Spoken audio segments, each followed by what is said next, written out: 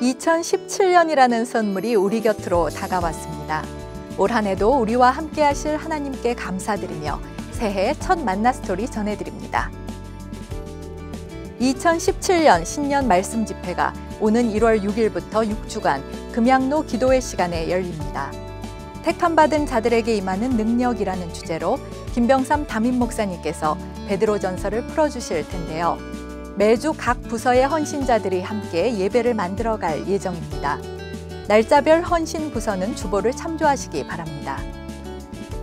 새해부터 봉헌 방식이 달라집니다. 예배 중에 진행되던 봉헌 순서가 없어지는데요.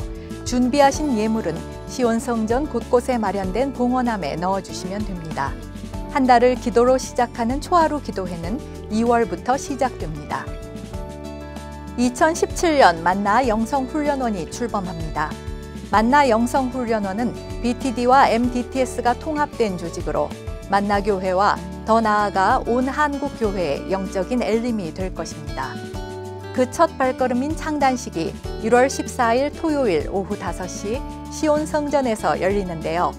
BTD와 MDTS를 수료하신 분들의 많은 참여 바랍니다. 아울러 BTD 제61기 그리고 청년 BTD 제11기 지원자와 팀 멤버를 모집하고 있습니다. 자세한 안내는 주보를 참조하시고 2층 로비 부스에서 신청해 주세요. 대한민국의 하나됨을 위해 기도하는 통일기도회 새해 첫 모임이 1월 10일 화요일에 열립니다. 정삼이 목사님을 강사로 모시고 진행되는 기도의 자리에 통일 한국의 사명을 가진 성도님들을 초대합니다. 2017년 제1학기 만나 장학생을 모집합니다. 대상자는 고등학생 이상이며 신청은 1월 29일 오후 4시까지 장학선교회 홈페이지를 통해서만 받습니다. 지원한 분들은 1월 8일에 진행되는 사전 설명회와 프레젠테이션 교육에 참석해야 하는데요. 자세한 내용은 주보와 장학선교회 홈페이지를 참조해 주세요. 통역팀에서는 만나교회를 찾은 외국인 예배자들에게 복음의 통로가 돼줄 헌신자를 모집합니다. 모집 부문은 영어, 중국어, 그리고 일본어이며 자세한 내용은 2층 로비 부스에서 안내받으실 수 있습니다. 예배 동시 통역은 1월 8일 주일부터 2부 예배 때 운영됩니다.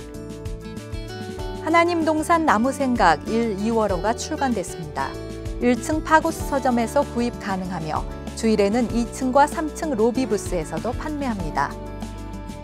2017년 만나교회의 주제 바로 능력입니다.